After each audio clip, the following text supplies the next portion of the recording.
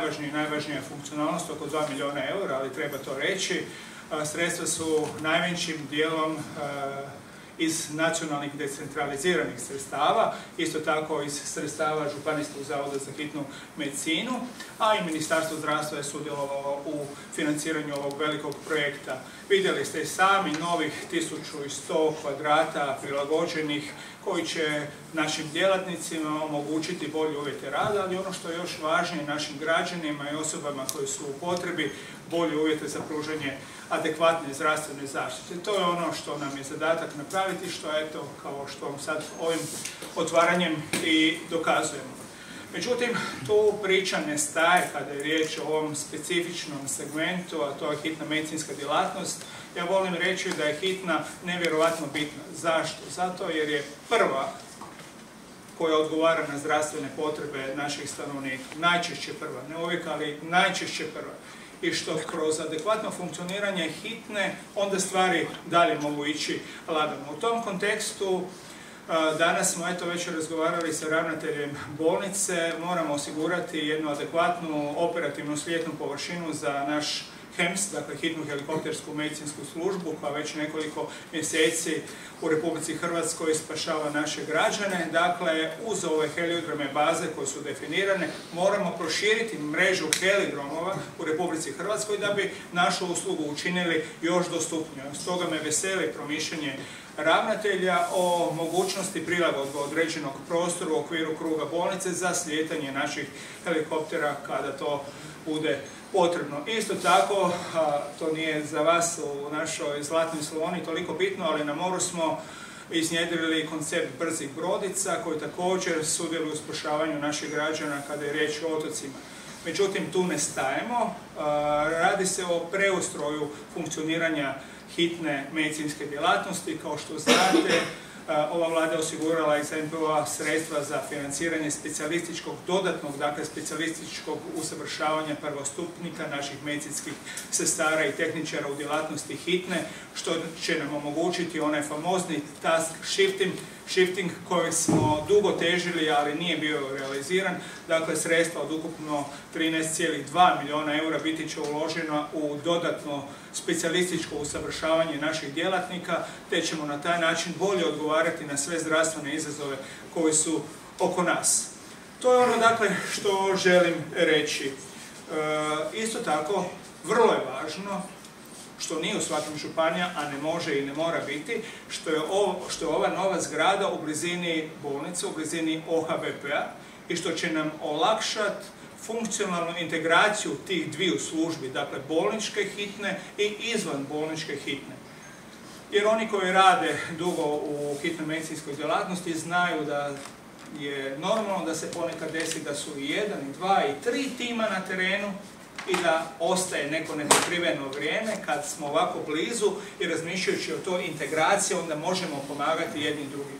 Ovi iz bolničke hitne, ljudima iz izvanbolničke hitne medicinske pomoći. Tako da je to jedan koncept koji je apsolutno apsolutno utemeljen i drži Želim na kraju zahvaliti svima koji su participirali u promišljenju o potrebi izgradnje ovakvog novog kvalitetnog objekta.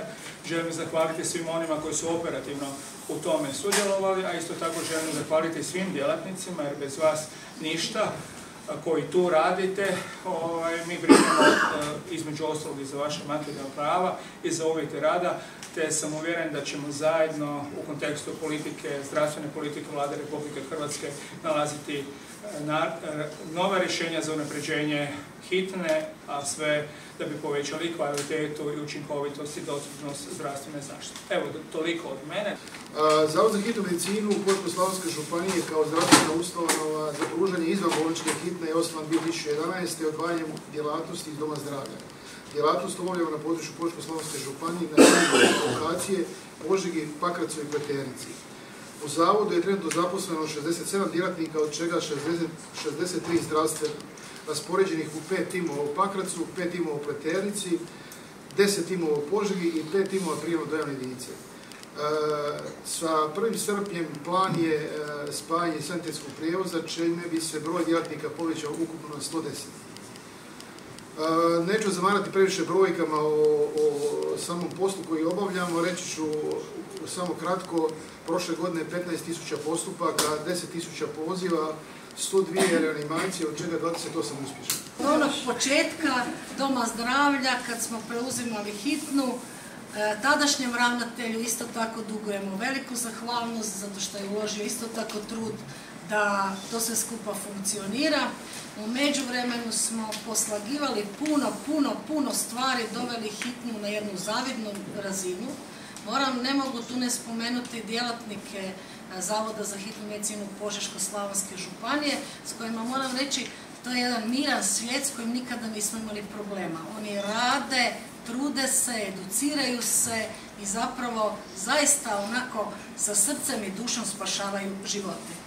Za to e, treba isto tako spomenuti da su njihovi rezultati koje ostvaruju svim standardima koje zahtijeva hitna medicina i to je nešto što isto jedan veliki iskorak u odnosu na ono što smo nekada imali. Ali ne treba puno biti u povijesti, ali svejedno moram se isto tako sjetiti da je e, dolaskom gospodina Fabijana Barišića u naš zavod nekako se sve to onako ljudski još posložilo. To mi je onako nešto što zaista želim podijeliti s vama. E, naša suradnja je sad već duga, je tako Fabijan, sad već to mi godine brojimo. Da, ali smo uvijek jako lijepo nalazili zajednički jezik i zato mi je posebno draga ova prostorija u kojoj smo sada. To je edukacijski centar koji je nedostajao Zavodu za hitnu medicinu Požeško-Slavonske županije.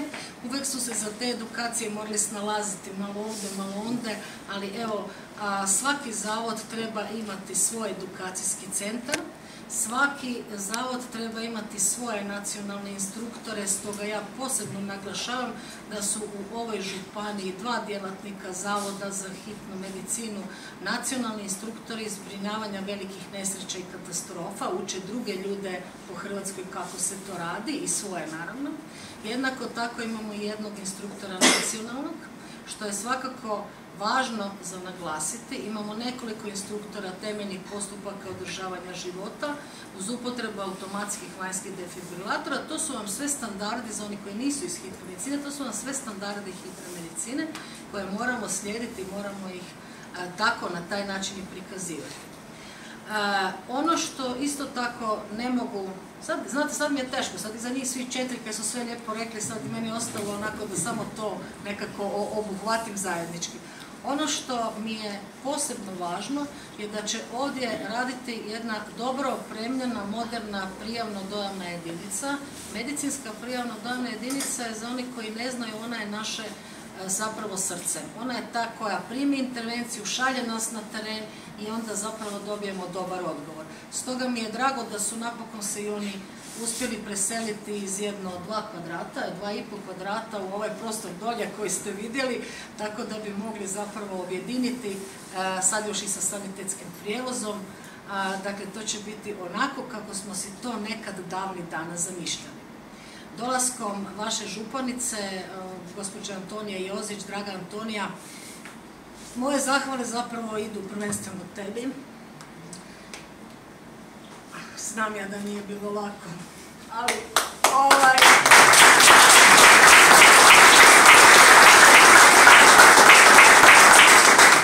Antonija je to gurala srcem i dušom kao da je naš hitnjak, a ne kao da spada u neku sasvim visoku politiku. Evo, molim vas još jedan puta, zahvala i pljesak vaš. vaš.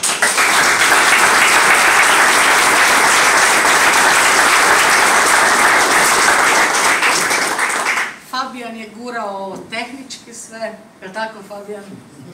Tako da, zaista je zadovoljstvo biti danas ovdje i uživati u plodovima našeg zajedničkog rada. Ajde, ljudi, dosta mene više.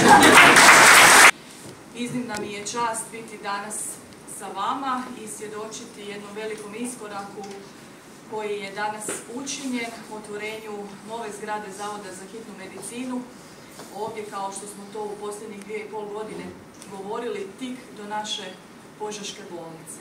No i evo, nije prošlo puno, prošle su samo dvije godine od kad je gospođa Maja Grba Bujević bila ovdje na polaganju kamena temeljca. danas svjedočimo uistinu ovom velikom iskoraku.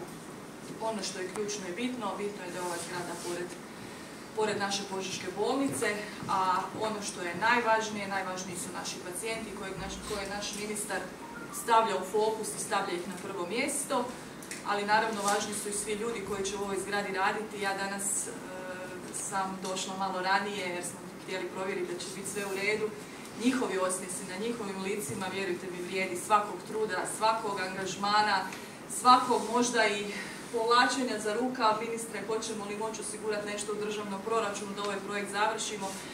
I ja sam sigurna i da svaki spašeni život i svaka usluga koju će naši hitnjaci pružiti našim sugrađanima vrijedi svakog eurocenta ovaj, uloženog u ovaj objekt, a kada gledamo danas odnose kako zapravo su cijene radova otišle značajno puno. Mi smo stvarno sa 2 milijuna eura napravili čudo, stoga čestitke Fabijan tebi, čestitke izvođačima radova, projektantima i svima onima koji su na bilo koji način pridonijeli da do ovoga dođe.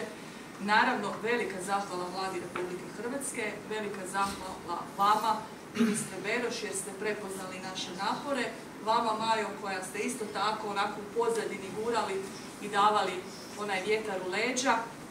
Jer ovaj projekt je na jednom mjestu objedinio sve ono što je hitnom pacijentu potrebno bez da se gubi vrijeme na traženje okolo ili vožnju po gradu koje često zna biti i gužva.